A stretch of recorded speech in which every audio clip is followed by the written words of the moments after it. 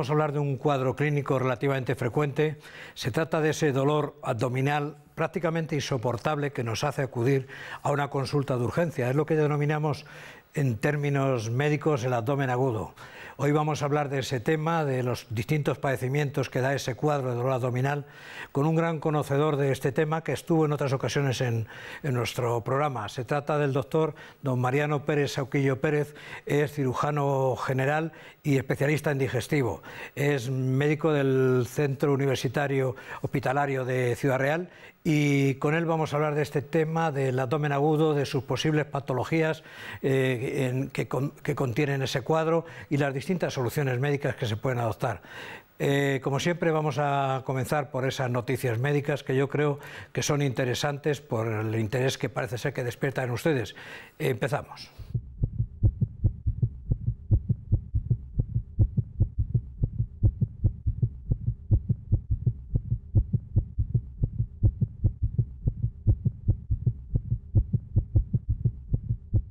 Una condición cerebral provoca la apatía. Escáneres de personas desmotivadas demuestran que a estas les cuesta más de lo normal el convertir una decisión en acción. Un equipo de neurocientíficos de la Universidad de Oxford ha estudiado la apatía y han descubierto que las personas vagas podrían tener una condición biológica determinante. Para tratar de profundizar en el asunto, los investigadores reunieron a 40 voluntarios sanos rellenando unos cuestionarios en los que se les calificaba su nivel de motivación. Después se les proponía un juego en el que se les implicaba en un premio y un esfuerzo diferentes.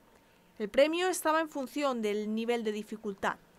Durante el juego sus cerebros fueron escaneados, encontrando que a pesar de que los voluntarios apáticos se encontraban menos dispuestos a aceptar las tareas que requerían esfuerzo, un área de su cerebro mostraba más actividad frente al caso de los individuos motivados.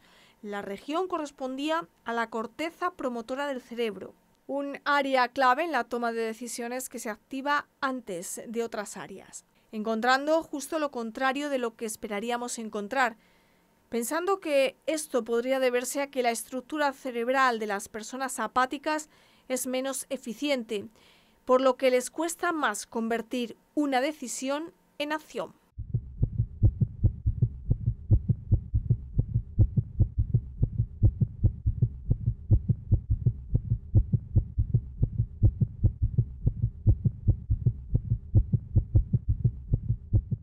Tóxicos ambientales, causas del cáncer de páncreas. Un proyecto colaborativo de investigación que busca financiación para obtener datos de alta relevancia sanitaria mundial. Sabemos demasiado poco sobre las causas del cáncer de páncreas. Esto dificulta la prevención de dicha enfermedad. Por lo tanto, es esencial identificar nuevos factores causales. Nuestro objetivo es analizar si determinados plaguicidas u otros tóxicos ambientales contribuyen a la aparición del cáncer de páncreas. Se calcula que cada año mueren un cuarto de millón de personas en el mundo de esta enfermedad. No todos los factores son conocidos. Como causantes están presentes en todos los casos del padecimiento. Ya se ha empezado con los análisis de laboratorio de las concentraciones de plaguicidas y otros tóxicos ambientales en las muestras de sangre de los participantes en el estudio, en espera de la colaboración en dicha investigación para sacar nuevas conclusiones científicas.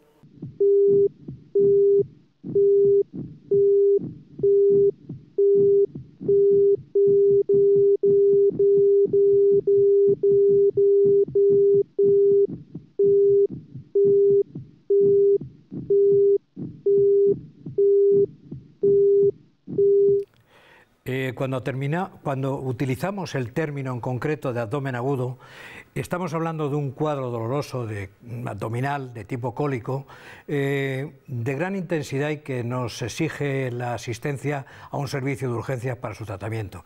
Estos cuadros normalmente suelen ser cuadros complicados con determinados padecimientos que suelen tener una solución quirúrgica.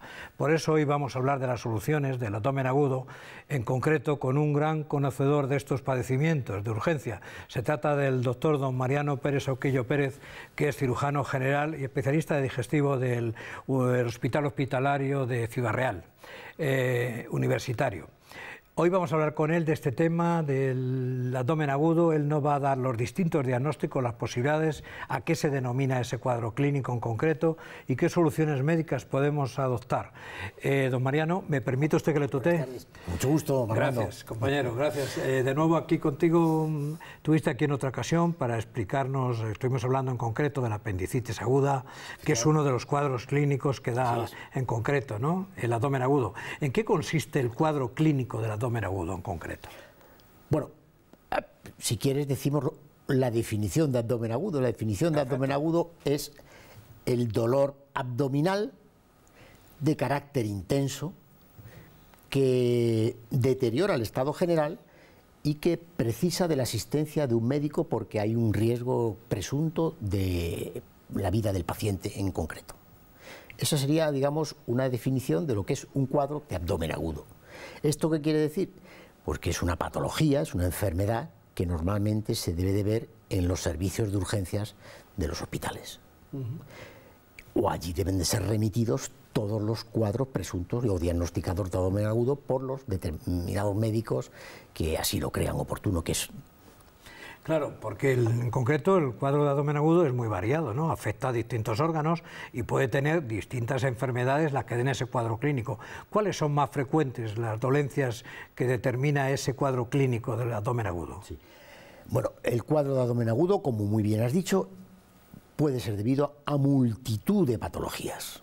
Luego, si quieres, vemos que hay algunas que son tributarias de una cirugía, un acto quirúrgico y otras que incluso no lo son. ¿Esto qué quiere decir?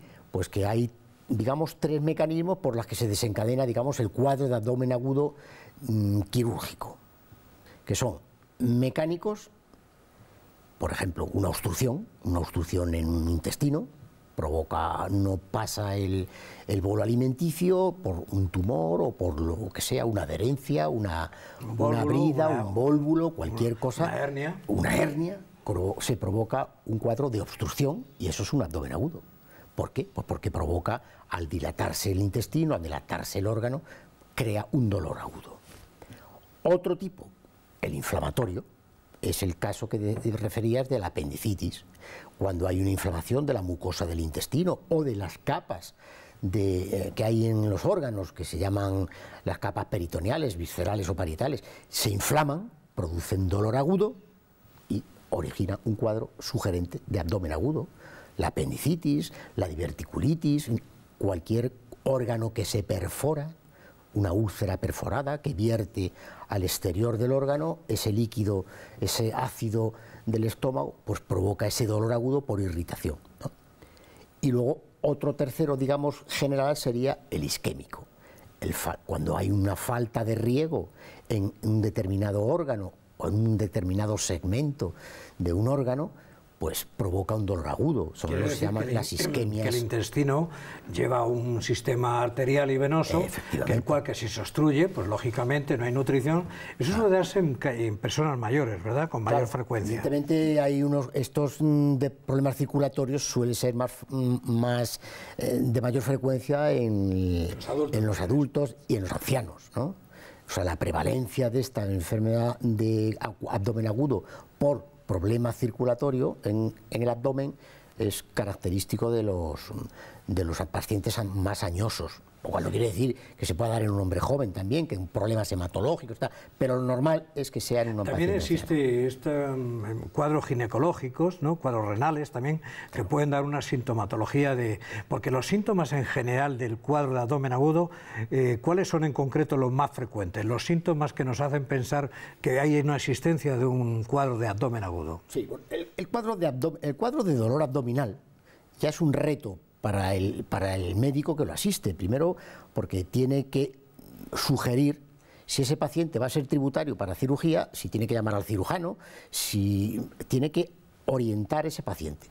Y ese, ese cuadro que, que, efectivamente es, mm, es, de dolor abdominal, lo primero que tiene que hacer el médico es, sin prisas, pero con celeridad, darse cuenta de las características. Cómo está el paciente, hacer una buena historia médica, antecedentes de operaciones previas, patologías anteriores ingestas de comidas. ¿Por qué? Pues porque, como te he dicho antes, muchos cuadros de dolor abdominal que sugieren abdomen agudo pueden no ser enfermedad quirúrgica que requieran de la asistencia del médico.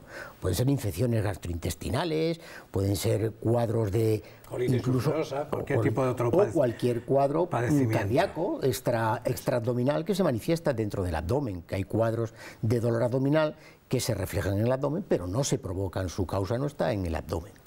Es que normalmente esto suele ir acompañado de vómitos también, ¿no? Eh, me refiero al cuadro general que presenta el paciente, el vientre duro, ¿qué síntomas en concreto son los palpables de fuera para poder pensar, porque luego existe una serie de estudios analíticos que son los que orientan hacia dónde va el problema. De eso vamos a hablar posteriormente. Sí, sí, Pero, mm, eh, ¿qué, ¿qué otros síntomas son los que puede tener el paciente? Lo digo para que conozca todos los síntomas, no solamente el dolor, sino los vómitos, quizá la febrícula, ¿Qué más se te ocurre? ¿Algún signo especial que haya que valorar? Los síntomas son múltiples. Y como te he dicho antes en la definición, eh, el cuadro de abdomen agudo es un dolor abdominal intenso que deteriora el estado del paciente. ¿Qué quiere decir que deteriora el estado del paciente? Pues estos síntomas que acabas de decir el paciente está inquieto, agitado, sensación de mm, enfermedad grave, se encuentra hipotenso, se encuentra mm, con vómitos, se encuentra con fiebre, eh, hay multitud de, signos que solamente con el hecho de ver al paciente ya te das cuenta, ¿no? Un paciente inmóvil, un paciente agitado, un paciente que se retuerce. muy duro, ¿no? Y luego está, lo digamos, la exploración física. La exploración física, pues es primero con las manos, tranquilamente, en una exploración abdominal, darte cuenta de las características que presenta ese abdomen, ¿no? Si es un dolor que está, un abdomen que está contracturado, que está blando, que se deja introducir levemente las manos sin dolor, o el simple hecho de tocarlo ya le causa dolor, si estamos palpando alguna masa dentro, algún bulto, digamos, dentro del abdomen que se pueda determinar. hay montones de signos que la simple exploración, pues ya el, ya el médico se da cuenta. La misma auscultación, mm, oyendo ruidos mm, de ese abdomen, ten en cuenta que un abdomen, digamos, el movimiento del intestino es prácticamente al minuto puedes oír algún ruidito, digamos que digamos el ruido normal, ¿no? Cuando hay una obstrucción, hay un, digamos, un movimiento, exactamente, hay una pelea, hay lo que se llama un peristaltismo de lucha y eso es muy continuo. Entonces, hay ruidos metálicos que te indican obstrucción, hay una serie de, de, signos en la exploración que ya nos van orientando. Luego, claro, están los análisis complementarios que nos van a ayudar a lo que decías, ¿no? los análisis, nos van a pedir un recuento de leucocitario, nos van a indicar más o menos si hay infección, si no la hay, si ha bajado la hemoglobina, porque puede haber una hemorragia, porque puede haber un antecedente de un golpe o de un traumatismo de, tráfico, y puede haber una hemorragia dentro del abdomen y que la misma sangre está creando el cuadro. Y como bien decías, en los cuadros ginecológicos, pues también lo que ocurre es eso, una de, las, una de, las, de los hechos que provocan un cuadro de dolor importante, pues son los embarazos ectópicos, ¿no? Entonces, una de las exploraciones que se debe pedir a una mujer fértil que llega al servicio de urgencias con un dolor abdominal sería un test del embarazo. Mm, eh, es obligatorio pedírselo, ¿no? Mm, evidentemente, con un análisis y con una buena ecografía y una buena exploración, digamos que el médico tiene los métodos mm, casi casi necesarios para orientar si lo que tiene entre manos es mm, territorio del cirujano o territorio del médico. Si es territorio del cirujano, queda un poco en segundo lugar el origen mm, exacto del diagnóstico. Efectivamente, ese territorio del cirujano hay que abrir y hay que, digamos, llevarlo a una operación para que confirme el diagnóstico de presunción y no perder mucho tiempo. Está claro de que el abdomen agudo de lo que se trata es de distinguir el diagnóstico diferencial de si es quirúrgico o no es quirúrgico. Y en ese cometido, el, médico que lo asiste, sea médico de urgencias, de cualquier de cabecera, ya debe emitir un diagnóstico de presunción y orientarlo al paciente a ese tipo de, urgencias. Esto, según la historia, a finales del 19, prácticamente en el 20, hablábamos de una intervención quirúrgica que se hizo, la primera apendicitis, que se tuvo el valor de hacer, que era una apendicitis a un rey. Hay que atreverse muy mucho a, operar a un rey por las consecuencias. Sí, pero ¿y, el beneficio que sacaría el médico? Exactamente. También no tiene nada que ver con el de hoy. También tiene razón en esto. Seguro que eh, se decía, se llamaba abdomen quirúrgico en concreto. La definición que daba este profesor inglés decía, le llamaba abdomen quirúrgico, es, en lugar de abdomen agudo. Eh, entonces, ¿tú crees que con las técnicas más sencillas, que es la buena anamnesis, como siempre insistimos, conocer los hábitos del paciente, las actitudes, los mm, problemas que ha tenido, si ha habido antecedentes, con la palpación en concreto, porque todos sabemos que el especialista tiene una determinada especialización en su especialidad para conocer lo, que, lo que lleva consigo, lógicamente, y con, simplemente con una analítica. Yo recuerdo, tú y yo fuimos residentes en la misma época, y Allí no bastaba con un análisis de sangre para determinar si podía ser una posible simplemente con esto, llevábamos al quirúrgico, ¿verdad? Y valoraba si era quirúrgica o no quirúrgica él, pero un simple análisis nos daba si efectivamente había un problema que tenía algo que ver con la apendicitis o, u otro sistema, como el bazo. Sí, pero ten en cuenta, Armando, que los, análisis, yo siempre he dicho que los análisis son orientativos. Nosotros no operamos análisis, operamos personas. Y siendo muy orientativos, evidentemente, mm, nos deben de ayudar al diagnóstico, pero no a hacer un diagnóstico. Un papel nunca te debe... es importante, primero, hablar con el paciente, el, el hecho de hablar con él y verle y tocarle y palparle es, yo diría que más importante que cualquier análisis o cualquier ecografía. yo, estoy, totalmente de acuerdo en eso y además soy seguidor de esa conducta, porque yo soy los que digo y critico mucho cuando un determinado médico pide una prueba, que puede ser a solicitud del paciente, pero la pide porque dice, no, es que alguien le ha dicho que ahí no se ve, que hay que solicitar otra prueba. Y yo digo siempre que el médico es el que tiene que hacer el diagnóstico y va a preguntar si su diagnóstico puede ser ese por medio de confirmación de una serie de pruebas que le lleven a lo que él sospecha que estás diciendo lo mismo. Eh, tú sospechas una apendicitis, pues tienes que tener una desviación, una leucocitosis, una desviación a la izquierda de la fórmula, todo esto para que te lleve a ti el camino. Pero es el especialista el que debe de determinar qué solicitud tiene que hacer para su duda. No decirle a otro, oye, dime si tiene una apendicitis. ¿Estamos de acuerdo? De acuerdo. Pues eso es muy importante que insistamos porque la, solución realmente hoy se ha vuelto prácticamente todo técnicas de estudio y no son técnicas de estudio. El ojo médico y la especialización del médico es un dato que yo reivindico, efectivamente. se me ocurre, vamos, se me ocurre no, esto es así, esto es la regla A, B y C de la, de la medicina, de la cirugía. El paciente con dolor abdominal agudo, intenso, que llega a, a una urgencia médica, tiene tres posibilidades. Una, que el médico diga esto es un abdomen quirúrgico, pasa al cirujano y se opera. Dos, no sabemos lo que es, pero puede ser quirúrgico, lo introducimos en el hospital y lo observamos de forma mm, continua y seguida por si las moscas, el paso de las horas nos hace variar. Y tres, no es un abdomen quirúrgico, claramente pasa al servicio pertinente de ginecología, de medicina interna, por la causa que sea. Esas son las tres situaciones que da el cuadro presunto de dolor abdominal que llega a un hospital. Tres. ¿eh? Quirúrgico, expectativa o no es quirúrgico. Claro. Eso, mm, hemos dicho al principio, hemos comentado que efectivamente no todos los cuadros de abdomen agudo son cuadros quirúrgicos. Tenemos un proceso muy, muy confundible con un problema de, mm, abdominal en concreto de, intestino, que son, son las pancreatitis, ¿no? En concreto. Claro.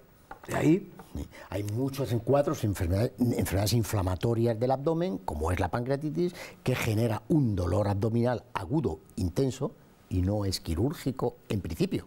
En principio salvo la complicación de la pancreatitis, que ya sería otro, otro caso. Pero una pancreatitis aguda, en principio, es un cuadro médico. Podemos llevar un diagnóstico evidente ante la sospecha del caso segundo que decías. Puede que sí, puede que no, simplemente con una analítica, ¿no? Se puede determinar y una ecografía que nos el no lo tiene claro, evidentemente no que pide una analítica, pide una secuencia de analíticas. ¿Para qué? Pues para ver cómo va evolucionando el paciente en el tiempo y en, los análisis. Si este cuadro se va normalizando, evidentemente el enfermo va mejor, sin necesidad de una asistencia del cirujano y se resuelve su problema. Pero si este cuadro va peor o en un momento determinado mm, el paciente cree que ha cambiado la situación, llama al cirujano o el mismo cirujano lo lleva al quirófano para operar. Es lo que decíamos de cuando no tienes claro el diagnóstico y el paciente está estabilizado y se encuentra aceptablemente bien. En un paciente inestable que, está fatal, y tal, pues entonces eh, el diagnóstico es evidentemente quirúrgico, aunque como te decía antes, el diagnóstico exacto no lo tengas, pero sí tienes una cosa clara, que es que hay un diagnóstico que es un paciente quirúrgico, con datos algo más, ecográficos, analíticos lo que sea, exploratorios. Llevarlo hacia, hacia, el terreno que tú tengas la duda. Los tres casos, digamos, que, Hay, que, hay, el paciente con un presunto mm, abdomen agudo. Eh, cuando se procede a la cirugía del abdomen agudo en concreto, todo la mayoría de la gente dice que puede haber una serie de complicaciones. ¿Cuáles son las complicaciones que puede dar la cirugía de un cuadro abdominal? Vamos a hablar, porque hoy afortunadamente se utiliza mucho la laparoscopia, ¿no? Para esta técnica y eso siempre quita riesgos. Pero cuando se hacían aquellas incisiones grandes, ¿cuáles eran los riesgos que, existían posteriores a la cirugía del abdomen agudo? como desde el advenimiento de la cirugía laparoscópica, que se hace cirugía mediante pequeñas incisiones de un centímetro y se introducen unos tubitos, eh, pues evidentemente las complicaciones son menores. Menores en cuanto a qué? Pues en cuanto a repercusiones del posoperatorio, menor dolor, mm, recuperación mucho más temprana, menos problemas en la pared abdominal en cuanto a provocar hernias en las grandes incisiones que se hacían antes, que eh, eran multitud de hernias laparotómicas las que se provocaban.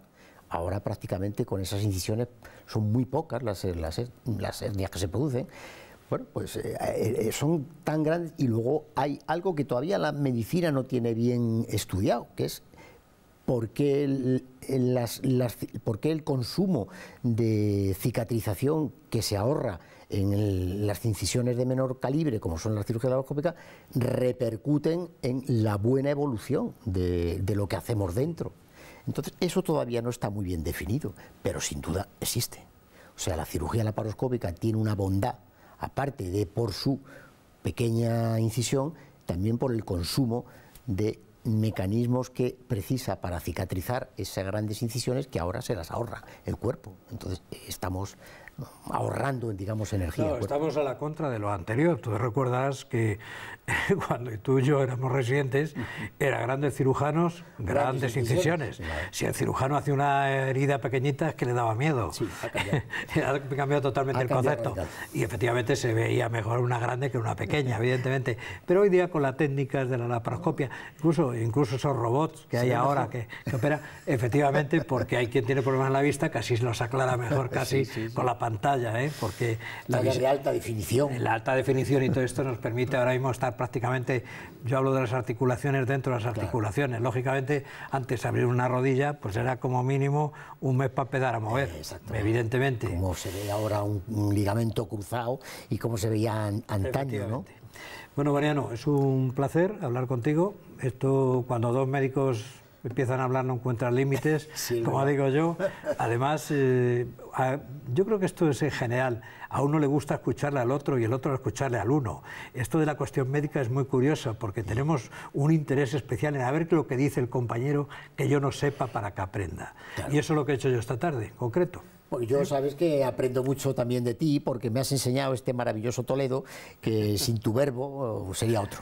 Muy bien, cuando quieras sabes que estás, estás invitado, esta es tu casa, eh, esta y la mía. Cuando quieras ya sabes. Muchas gracias, Armando. Gracias, Mariano.